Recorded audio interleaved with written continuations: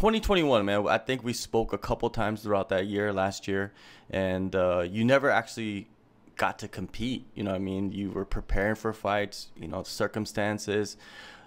How was that year for you? You know, when you look back now and and the dust has settled. Man, actually, actually, it kind of starts in 2020 um, when I was supposed to fight Brock Weaver. I remember, I think, connecting with you and I tested positive the week of the fight, and you know that was you know that was tanked, and then uh, was in good shape. Was trying to get something later that year. That didn't happen. Finally, was able to book something in June of last year, and then you know that one obviously tanked, and because of a freaking car wreck. But uh, yeah, man, just what a rough, uh, what a rough two years, you know, man. I, I, I I don't get to do what I want to do and what I most love to do, and that's compete and to fight. Has has that fire like grown inside of you more because of all the things that happened and you didn't get to compete? You know what? I think I think instead of a fire, it it, it kind of was kind of the opposite, you know, or maybe not the opposite, but maybe less intense. It, it was. I have a huge a huge, huge appreciation and I'm just very grateful, you know, like very grateful in the sense of what an opportunity, man, when when you get to compete and you see guys competing and you're not able to compete, like like wow, what an opportunity it is to be able to even fight in the UFC or even to fight in general, you know, and a lot of people don't have that opportunity or don't have that that chance to to do what they love to do, you know. And I was stripped of that for two years, so it was just it was just a it's a very new perspective, and it's um and uh it's it's very humbling, you know. That's why I'm I'm very stoked, man, for for for May 14th because man finally you know f- finally everything is good the, the the stars are aligning hopefully you know we got three more weeks four more weeks uh and you know just just really just really grateful for the opportunity, man. Yeah, yeah. You know, you got to appreciate everything that, that comes to you, especially during these times. You know, a lot of people are really struggling, and yeah. a lot of it is outside of their control. So sometimes you just got to roll with the punches. And, and that's what you basically yeah. did for the last two years roll with the punches, yeah.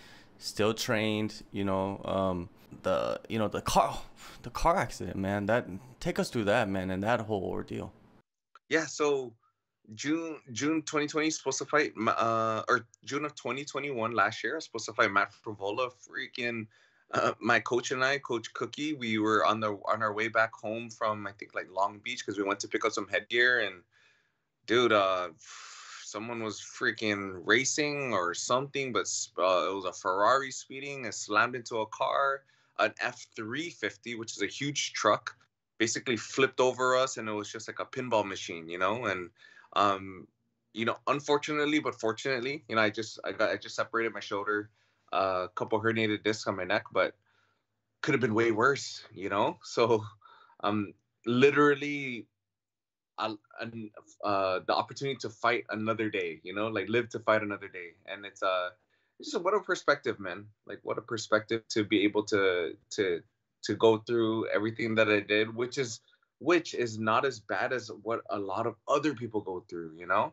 And just, you know, to understand that and and just to to to be able to do it again is more than a more than a blessing, you know? The the shoulder you know, and yeah, go ahead. Yeah, oh no, no, like you were saying, right? Like rolling with the punches, like these past two years was really uh was was was was really what training and martial arts prepared me for, you know? And it's uh how do I stay calm in a time of when I don't get to do what I want to do? You know, how do I stay focused when I don't have a date? I don't even know what's what's what's near in the future, but how do I how do I continue to push forward and and be and still uh, train and you know so um, you know mixed martial arts really prepared me for these past two years, you know, and got through it, getting through it, and um, yeah, just looking forward to the future. And really, you said it again too, like being able to focusing on what I could control, right?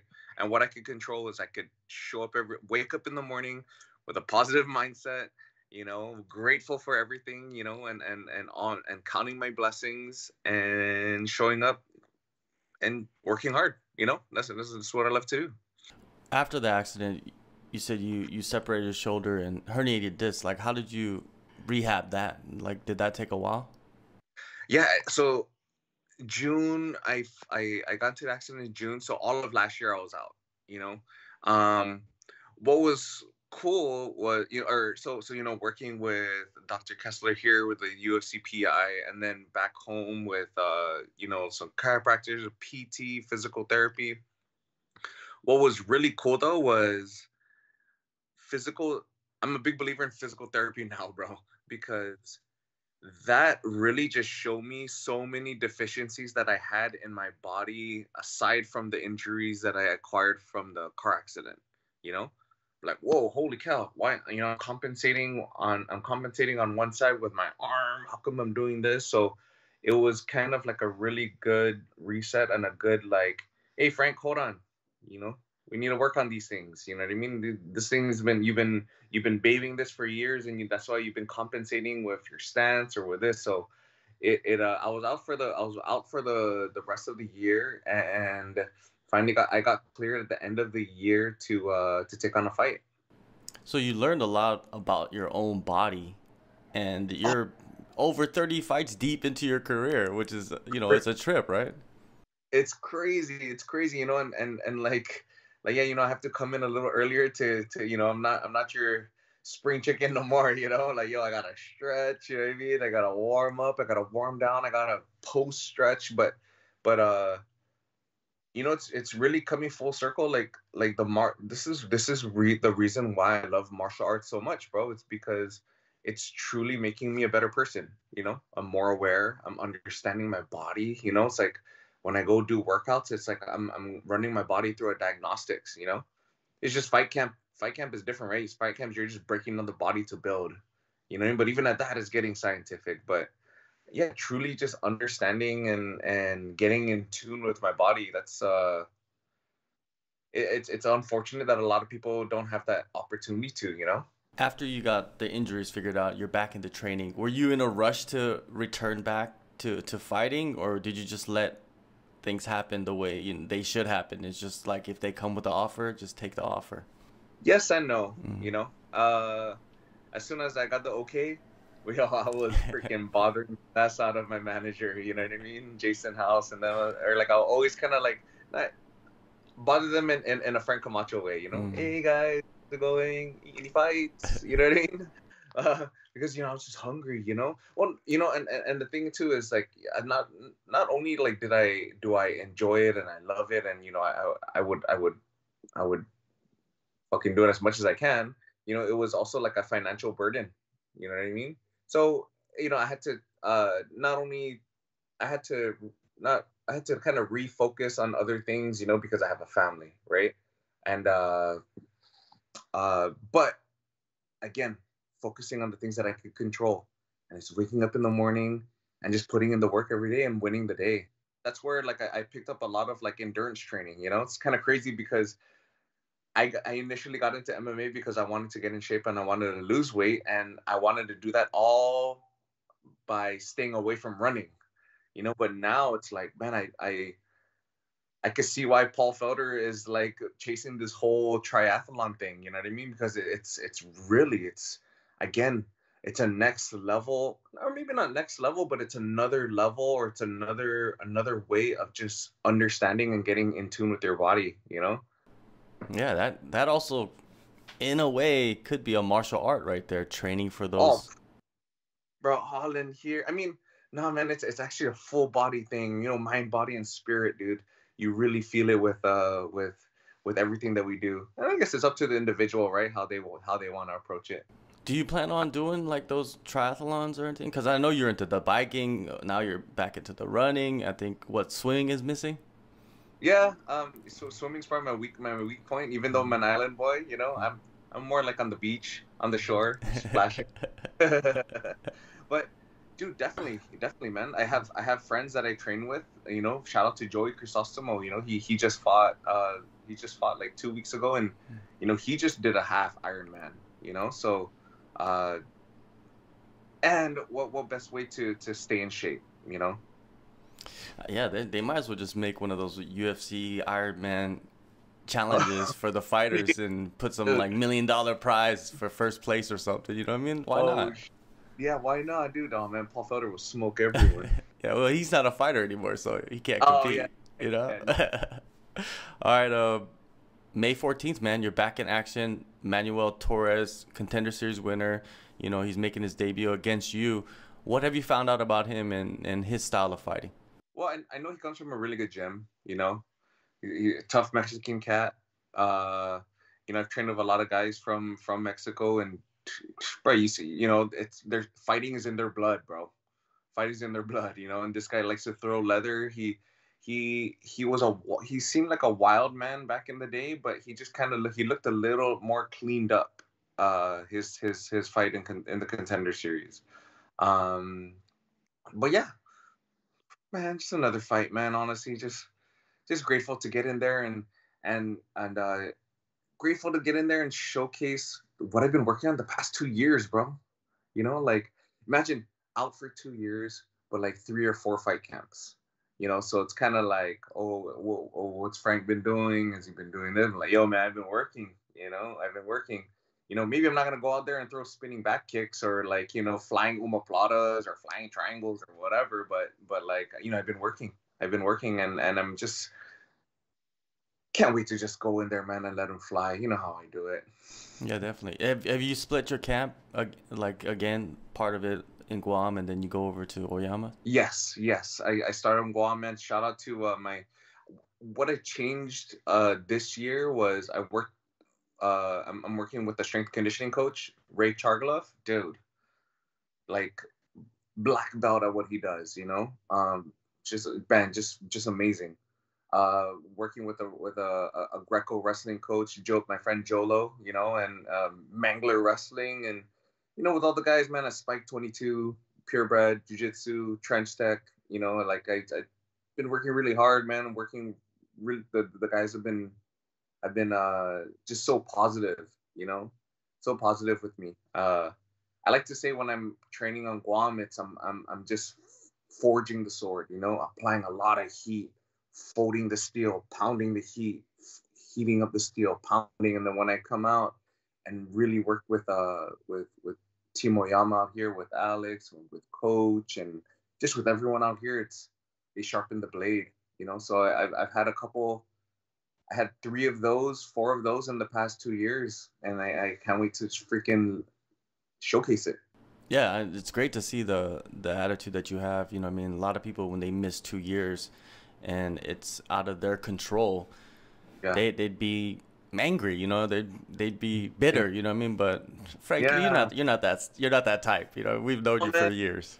Glass is always half full, bro. And and then maybe you know maybe I would have been bitter if it, it uh, if it was under different circumstances, right? But uh, but like the last you know the the car accident the car wreck really just um just it was a very big perspective like changer you know because essentially, dude, like I could have easily uh, like one little turn or one little whatever. Maybe I didn't put my seatbelt on that day. You know, like I we we could not have this interview. You know, career-ending injuries could happen. You know, totally. with, with car wreck. Yeah. So yeah, I yeah, see what you're saying. Freaking just high on life, man. Yeah. Just high on yeah, yeah, yeah. Perspective, man. Perspective is a, a huge, yeah. huge uh, huge difference maker in, in anybody's Bro. life yeah you know and then like it's even to the point where just really just thinking about like you know i can't imagine you know i was i was shelved for two years and you know watching all these ufcs amazing fights you know the past two years and not being a part of that. And i just always think like yo man how about those guys that that that did suffer those injuries that could have been the next you know the the, the next dude the, the that next Khabib or the next heavyweight champ or or or, or, or guys that are, are, are battling to just even walk you know what i mean? Or you know so many different things dude. And uh um the past two years has really opened my eyes to that. Yeah and and you're still in your prime. You're only 32 years old. You know what i mean? Yeah. i feel like you have a, a, a couple more years of prime Frank Camacho still left yeah. in you, and and this two years could have just been something that allowed your body to heal like fully. You know what I mean? Like completely. Because I think that's one thing fighters don't do is they're not good at taking time off to just feel a hundred percent. Yeah, you know, you know that that's a very that's very interesting because you know like there's uh like the I guess the turnaround for like an NFL player, right? You only have X amount of years, you know, and even at that, X amount of years, but you playing seasons, you know, so you do have time off.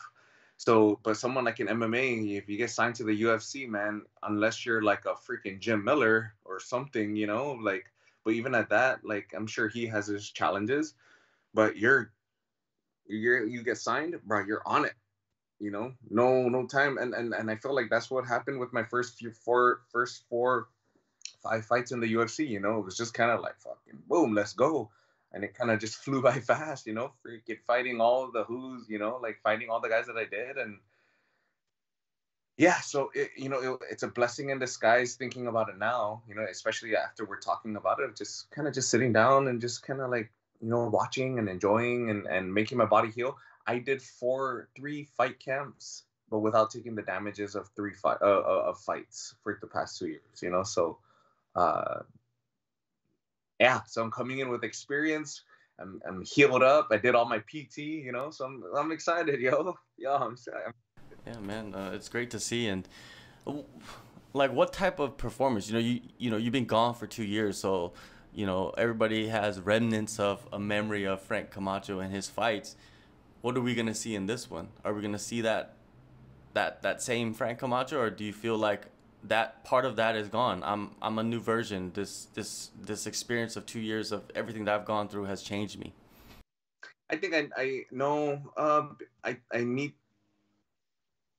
I I still wake up in the morning and I I I, I still have that fire, you know. So uh you know the, the like one day when I woke up and I was talking to my wife, I was like, "Man, babe, I still got it in me, you know. Like I still want to do this, you know. I still want to fight. I want to get gritty, you know. Like yeah, maybe you know, maybe not uh maybe not with my hands down and yelling at my opponent, you know, type of deal. But man, I still love the fight. I still love the scrap. I, I want to, I, I, to have to dig down, you know. I want to have to dig down deep into my soul when I'm tired and I gotta throw and I gotta finish, you know. You know the the the and and and to get away from that, I think it's gonna be detrimental to my fighting style. You know, if I'm gonna go try to run and pop a jab and run away, it, it might not, you know, it might not work uh, as well, you know. You know, maybe I can get the win, but you know, that's not what I'm in there for. You know what I mean? Like, like I, I, I want to implement my game plan. I want to implement what Frank Camacho does, and I've been working on a bunch of cool little things the past two years, and I can't wait to just showcase it. You know. Yeah, man, I can't wait either, man. Uh, a couple more questions outside of your fight um, cryptocurrency, you know, it's like huge now in, in MMA and around the world. And they also announced that the UFC are, are going to be working with crypto.com to give out bonuses to, to fighters every event. What are your thoughts on cryptocurrency and what are your thoughts on them just giving out bonuses? Hey man, I mean, if it translates into into into value, bro, shoot. You know, I'm I am uh I am still an ultra white belt at cryptocurrency. You know, I've been sitting I remember when I got offered to buy Bitcoin like back in the day when it was like I think only like 20 bucks and I'm like kicking myself in the ass, you know, now cuz uh, but at the same time too I was I was I was a broke fighter, so you know like 20 bucks is like damn, that was a, that was like a that was a freaking gas, you know what I mean?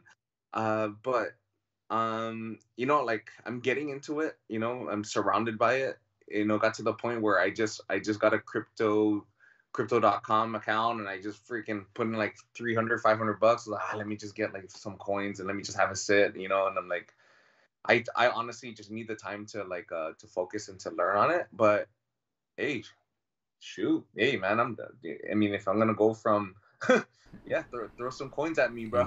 Mm, yeah you know? for sure for sure. Yeah it's it's it's awesome. I, I think it's and I think it's the it's the future. You know what I mean? I know there's a lot of kinks that are being ironed out. You know, I mean, this is just from just from from the outside looking in, right? Like, but but I I think it's uh you know it's, or not. I think it's definitely the future.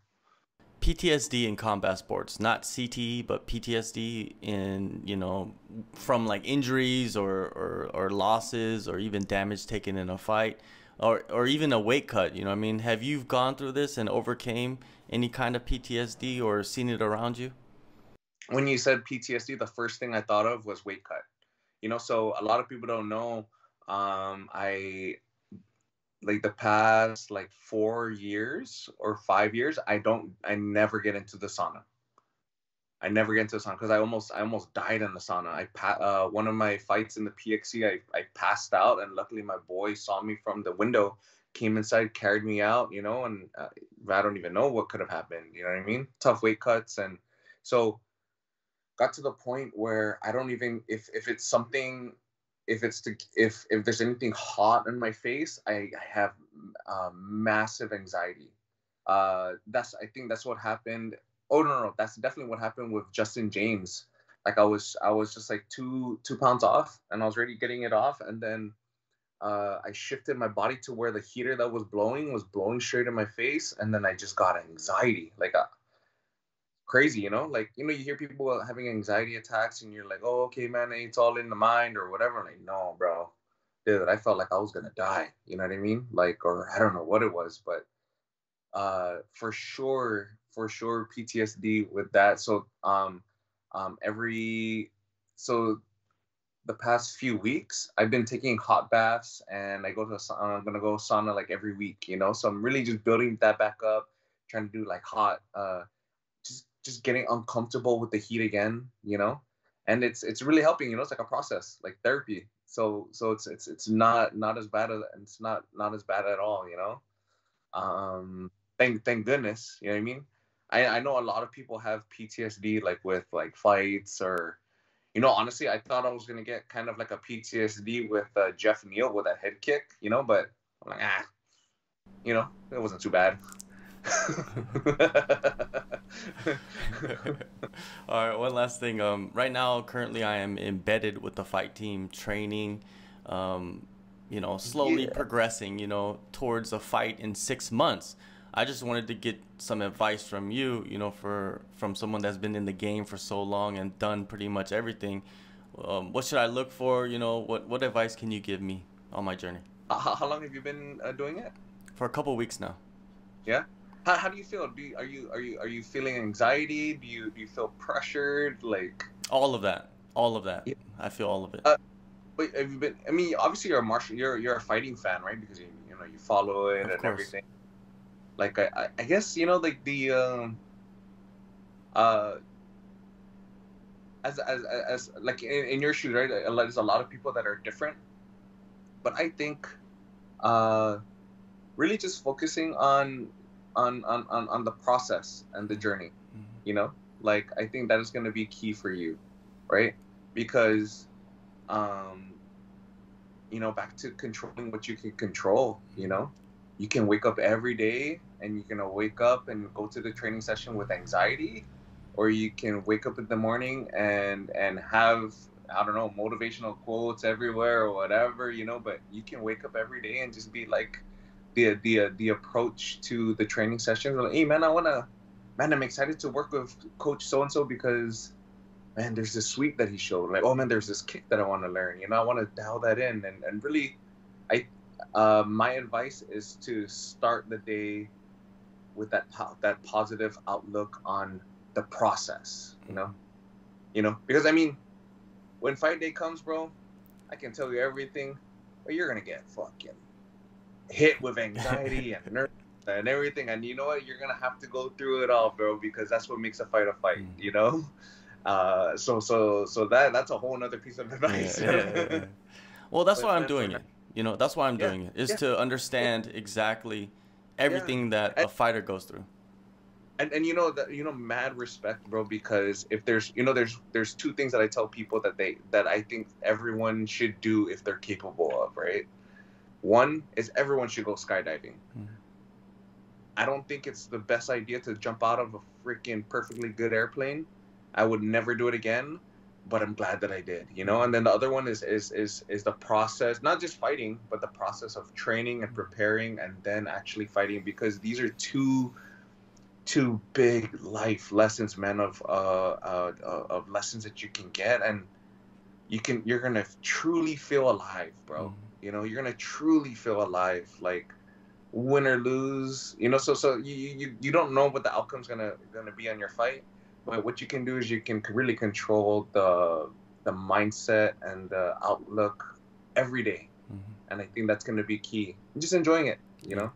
For sure, I'm I'm trying to enjoy it, man. I'm trying to enjoy it as much as I can, but uh, yeah. but yeah, there's yeah. so much already in three weeks that I've just figured out that I've just yeah. realized, and uh, six months, man. By the end, it's gonna be pretty uh, pretty crazy. But hey, you're back in action, man. May 14th, UFC Fight Night in Las Vegas. Frank, appreciate the time as always, and uh, good luck on the rest of the camp, and all the best on Fight Night. Man, I appreciate you, brother. Thank you. Nice to see you again, dude.